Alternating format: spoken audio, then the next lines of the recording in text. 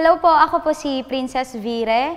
Mixed emotion po eh, sa totoo lang. Kasi nung nalaman din namin na nung gabi na yun i-announce, tapos biglang nung gabi din po na yun mag-start yung randomizer, sobrang nakakakaba po talaga. Kasi syempre, randomizer, random, hindi natin malalaman kung ako na ba yung mabubuno, ay ako na ba yung lalabas sa randomizer, or yung mapipili sa randomizer, yung lalabas sa randomizer, ako ba yung pipiliin? So, sobrang nakakakaba po. Ano po kasi ako eh, tumaba ako. Payat naman po talaga ako before. Tapos tumaba ako.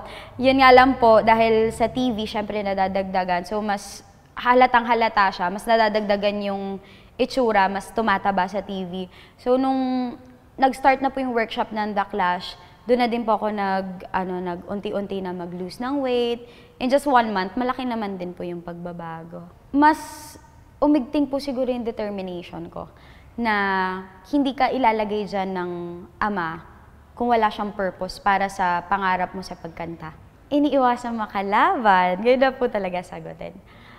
Um, as of now, siguro po para sa akin, si Jeremiah. Kasi before pa po mag-The Clash, personally magkaibigan kasi kami, magkakilala talaga kami ni Maya. And bakit ayaw ko siya maka- makalaban? Kasi alam na namin yung isa't isa eh. So parang alam, alam ko kung paano siya kumanta, alam niya din kung paano ako kumanta. So kahit na alam ko kung paano siya kumanta, nandun pa rin yung point na ayok, ayoko naman maglaban din kami. My edge po sa other um, clashers is that I'm full of surprises po.